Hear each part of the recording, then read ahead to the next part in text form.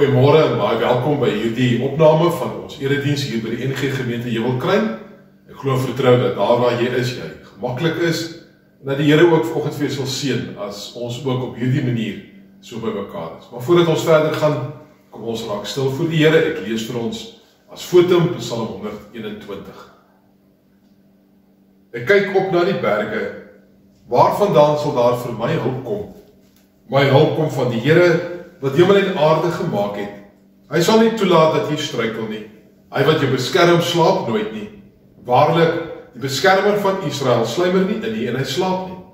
Die Here beskerm jou. Die Here bewaar jou van alle gevare. Bedag sal die son jou nie steek nie en slag sal die maan jou nie kwaad doen nie. Die Here sal jou beskerm teen alle gevaar. Jou lewe sal hy beskerm. Hy sal jou beskerm waar jy ook gaan, nou en vir altyd. Mag die Here in sy groot genade, barmhartigheid en vrede ook vir oggend by jou wees. Amen. Kom ons luister nou na 'n lied wat opgeneem is deur ons begeleidingsgroep. Ons gaan luister na Vonk 70 Wees stil want die Heilige is hier.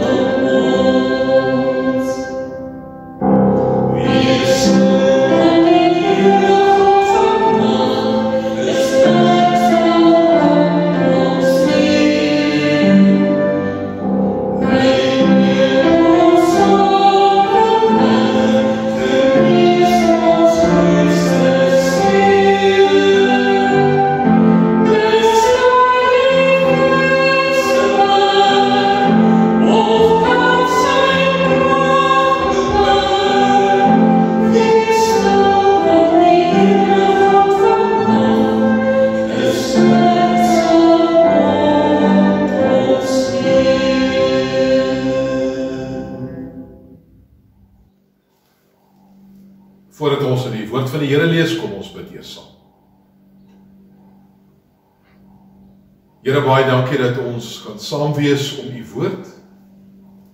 Baie dankie dat ons kan saam wees ook deur sosiale media. Dankie dat ons met mekaar kan deel die een geloof, die een hoop, die een verlossing. Die een Here en Trooster, Jesus Christus ons koning.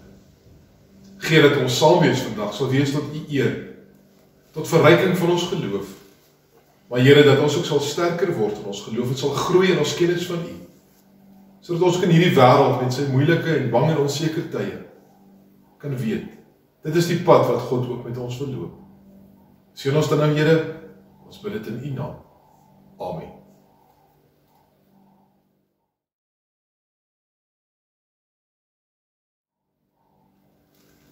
Ons is vandag by die 4de van ons temas rondom die verhaal van Josef. En ek hoop dat jy ook nou al agtergekom het dat hierdie 'n aangrypende mooi verhaal is. Waarin ons so baie leer, maar waarin ons ook die werk van die Here op 'n aangrypende manier sien gebeur. Ons het gesien hoe Josef met sy drome en al die geweldige onreg beleef het om as slaaf na Egipte verkoop te word. Ons het gesien hoe Josef in Potifar se huis was en hoe hy daar onskuldig in die tronk beland het as gevolg van mevrou Potifar. Ons het gesien hoe Josef in sy oomblik van waarheid voor die Farao verskyn en daar 'n getuie vir die Here is. Dit is 'n aangrypende verhaal waarin ons sien hoe God vir Josef seën te midde van sy moeilike omstandighede. Ons sien hoe Josef sy karakter en sy integriteit behou ook in die krisistye van sy lewe. Maar ons sien ook hoe Josef as getuie vir die Here voor die Farao optree. Vandag kom ons by daardie pragtige deel van die verhaal waar Josef sy broers vir die eerste keer na baie jare weer ontmoet. Die geleerdes en en die teks sê dit ook vir ons as ons die verhaal gelees Genesis 42 tot 45 dat Josef toe hy die die eerste minister van Egipte geword het dat hy ongeveer 30 jaar oud was. En waarskynlik dan toe hy sy broers ontmoet het dalk in sy vroeë 40's moes gewees het.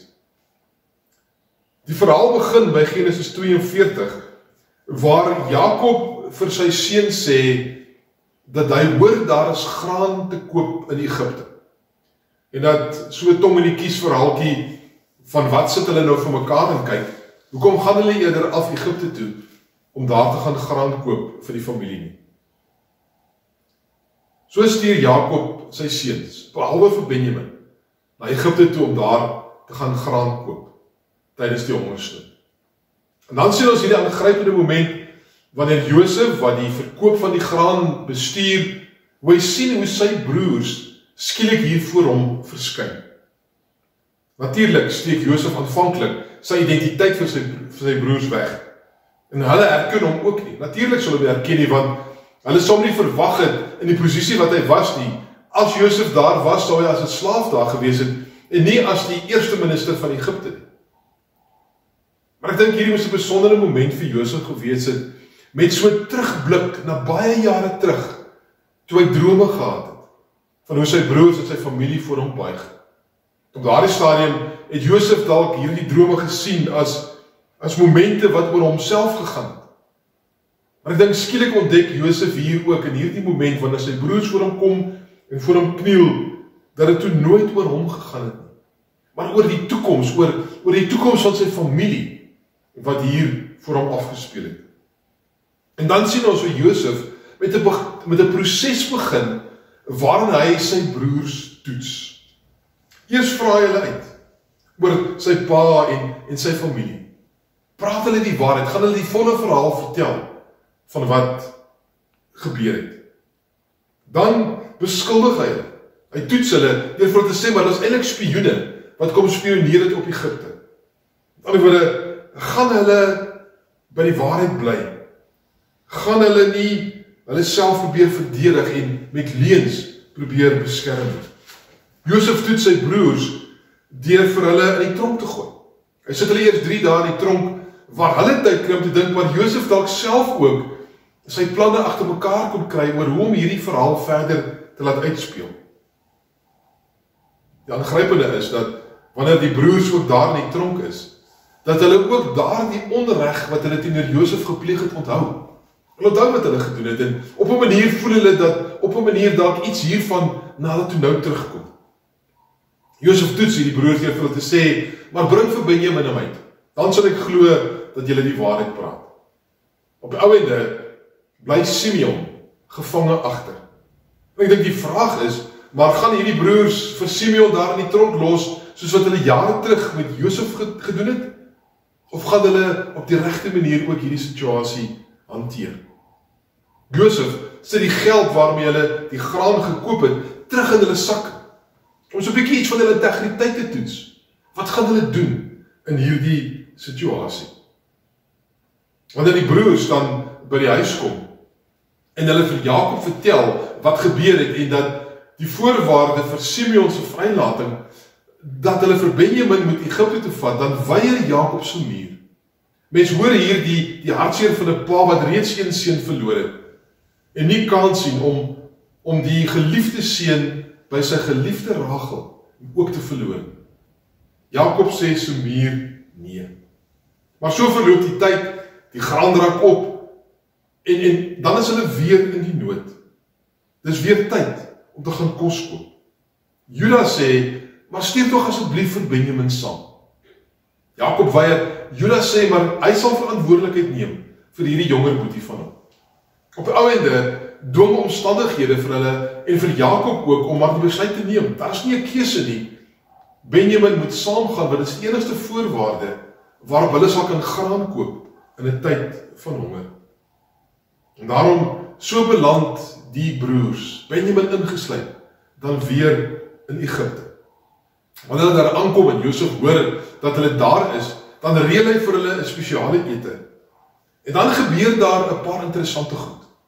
In die eerste plek wanneer die broers by die die hoofslaaf van Josef kom, dan wil hulle dadelik die geld wat hulle die vorige keer in hulle sakke ge, gekry het, weer teruggee. En sê maar ons het nog geld gebring om weer koning, weer koring te koop. Iets van die integriteit van hierdie broers kom skielik na vore. En 'n mens kom agter dat, dat reeds in in hierdie momente dat dat hierdie broers het verander. Die broers wat nou voor Josef staan, is nie die broers wat baie jare terug vir Josef uit jaloesie as slaaf verkoop het. Skielik verskyn Simeon ook by hulle. Is die hele getal van die broers weer weer voltallig. En dan gebeur 'n interessante ding wanneer wanneer hulle aan die etenstafel sit, dan sit hulle in volgorde van oudste na jongste. En ek dink dit moes nogal vir hierdie broers so bietjie gefassineer het want die kanse dat dit toevallig gebeur is is nul. En daarom is dit iets wat hulle dadelik aan die wonder het. En dan gebeur ook 'n interessante dat Josef en die teks sê dit vir ons ook as ons gaan lees en gaan lees gerus hierdie verhaal van uh, Genesis 42 tot 45 dat Egiptenare nie saam met Hebreërs geëet nie. Maar Josef bedien hulle van sy eie tafel af. Hy gee vir sy broers kos en dan gee hy vir Benjamin 5 keer meer as wat hy vir die ander broers gee. En dan sien ons ook hier hoe Josef vir 'n tweede keer hartseer raak wanneer die emosie van hierdie ontmoeting met sy broers net vir hom te veel word. En dan hierdie aangrypende moment in die verhaal van die hele episode rondom die silwerbeker. Josef se eie beker wat in die sak van Benjamin gevind word. En nou gebeur hier 'n groot tragedie. Dit is 'n onmiddellike krisis vir hierdie broers. Want wat gaan hulle doen en hoe gaan hulle dit hanteer? Wanneer die broers dan met hierdie krisis gekonfronteer word, dan moet hulle besluit neem. Gaan hulle terug na hulle pa toe sonder Benjamin? En dit doen hulle gelukkig nie. Hulle sê nee, hulle gaan saam. En dan kom hulle saam die die broers voor Josef aan. En dan breek die oomblik van waarheid in hierdie broers maar ook in Josef se lewe aan. Hierdie broers by monde van Juda, die oudste wat die die spreekbuis word, bely hulle dat hulle almal Josef se slawe is. Bely hulle dat hulle afhanklik is van van Josef se welwillendheid in hulle lewens. Hulle bely ook verder dat God in hierdie situasie aan die werk is. Hulle bely ook hulle eie sonde deur te sê dat dit wat destyds gebeur het toe hulle vir Josef verkoop het, nou vir hulle ook ingehaal het. En hulle totaal afhanklik is van Josef wat hulle nog nie erken het nie wat hulle nog nie weet wie hy is nie. Dat hulle afhanklikheid is van sy welwillendheid. Josef sê, die broers kom maar gaan. Silverbeker is in Benjamin se sak gevind, Benjamin moet bly. En dan daardie aangrypende toespraak van van Juda wat hy sê, ons kan nie dit aan ons pa doen nie. Daar is geen manier wat hulle kan teruggaan na hulle vader en vir hom sê maar Benjamin het in Egipte agtergebly nie. Dit sou hulle pa se dood beteken. En daarvoor het hulle nie kans gesien nie. En dan stuur Josef al die Egiptenare wat in die vertrek was weg. En wanneer hy alleen saam met sy broers is, dan versê hy vir hulle: "Dit is ek. Ek is Josef. Ek is die broer wat julle baie jare terug as slaaf verkoop het." 'n Mens kan net die verbuistering by hierdie broers verstaan. Die skok van Hulle het dit nie sien kom nie. Hulle het hierdie nie hierdie kinkel in hierdie verhaal ooit kon kon droom eers dat dit sou gebeur nie. Hulle sou nooit kon dink dat hulle broer nog leef nie. En skielik is daar hierdie moment van hereniging in hierdie familie. En dan gebeur hierdie ongelooflike ding wanneer die broers ook sorg is. Wanneer hulle bekommerd is oor wat is nou hulle toekoms? Wat gaan Josef met hulle doen? Dan dink ek het Josef al in die eerste plek genoeg in hierdie verhaal ontdek van sy broers om te besef dat hulle nie meer dieselfde manne is nie. Daar het by hulle groei gekom. Daar het by hulle 'n tempering gekom in hulle persoonlikhede. Daar het by, by hulle 'n nuwe ontdekking van nuwe waardes gekom. Maar daar het by hulle ook 'n verootmoediging voor God ontstaan. En daarom lees ons hier aangrypende woorde in Genesis 45 van vers 5 waar Josef sê: "Maar julle moet nou nie sleg voel of bang wees omdat julle my verkoop het nie, want God het my vir julle uitgestuur om lewens te red." Dit is nou maar die tweede jaar van hongersnood in die land. Daar lê nog 5 jaar voor waarin daar nie geploeg of geoes sal word nie. God het my voor julle uitgestuur om vir julle 'n oorblyfsel in hierdie land te laat oorbly, om julle aan die lewe te hou sodat baie aan die dood sal ontkom. Josef plaas onmiddellik ook hierdie broers binne die konteks van die verhaal. Josef stel sy broers gerus om te sê, "Maar weet julle wat? God is hier aan die werk. God is ook aan die werk in hierdie baie besondere verhaal. Wat kan ons uit hierdie verhaal vir onsself saamneem? Ek dink in die eerste plek ontdek 'n mens hier hoe tyd en die seer kry van van tyd en die en die groei wat ook by tyd kom ook mense kan temper. Hierdie broers kom by 'n punt waar hulle kan bely dat hulle gesondig het deur vir Josef te verkoop. Hulle kan by 'n punt kom waar hulle kan bely dat God ook aan die werk is en dat God ook die die slegte en die die skuld van hulle kan gebruik om iets groots, iets goeds tot stand te bring. Broers wat leuns vertel het en hulle pa die hartseer gemaak het, is broers wat nou met integriteit optree en in die kritieke momente die regte goed ook doen. En ek dink ons moet ook iets daarvan verstaan dat dat ook ons met tyd getemper word. En toelaat dat tyd en God ook in ons werk sodat ons ook kan groei. Sodat ons ook beter mense ander kant kan uitkom in die moeilike situasies van ons lewens. In tweede plek sien ons in hierdie in Josef en in sy broers se lewens hoe hulle die vermoë ontwikkel om die groter prentjie te sien. Om te ontdek dat God aan die werk is. Ook in my lewe is God aan die werk. En ek en jy moet ook ontdek om vir God en vanuit sy perspektief na ons lewens te kyk. Om die gebeure in ons lewens ook binne die groter prentjie van God se werking en God se liefde en God se genade vir ons ook raak te sien. Maar ek dink derdens en ek dink dis die groot tema in hierdie verhaal is dat vergifnis kom waar ek begin verstaan dat my lewe in God se hande is en nie in ander mense se nie. Ons kan so maklik toelaat dat mense ons lewens omkrap. Ons gaan so maklik toelaat dat mense deur hulle woorde of hulle dade of hulle gesindhede ons lewens omkrap. Ons gaan so maklik dink dat dit wat in my lewe gebeur en die gevolge daarvan in my eie hande is of selfs in ander mense se hande is. Maar Josef en sy broers moet ontdek, moes ontdek dat vergifnis gebore word wanneer ek verstaan dat my lewe in God se hand is. En dat selfs die stukke en die seer wat ander mense aan my doen, dat dit ten goeie kan meewerk en dat God dit kan gebruik om iets groots tot stand te bring. Waar is die Here in jou lewe besig? Watter pad is die Here besig om met jou te stap? Watter mense is daar in jou lewe wat jy ook dalk kan begin sien hoe God ook in hulle lewe gegroei het? Wie is die wat jy dalk ook moet vergewe sodat jy kan ontdek dat God besig is om 'n proses te gebruik, om ons situasies te gebruik, om lewensomstandighede te gebruik sodat jy kan groei, sodat jy ook vir God kan ontdek.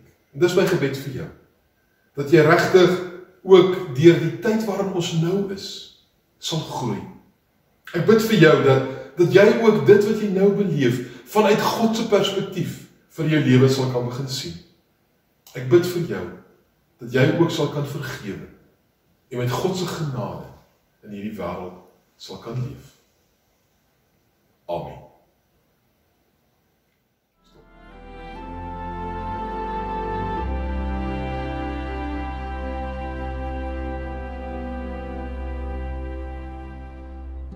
Make me a channel of your peace. Where there is hatred, let me bring your